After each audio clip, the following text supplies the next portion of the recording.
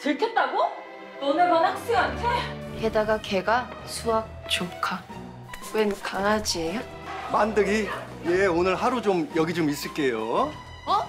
만드기가 집에 갔다고? 쌤 오늘 저녁 시간 괜찮아요? 형 수행평가 채점 덜 끝났다고 하지 않았어? 많이 기다렸어요? 고마웠습니다 오늘. 알아요. 여러모로 도와주신 거. 둘이 뭐야? 아무 사이 아니라는 거예요? 아무 감정도 없고?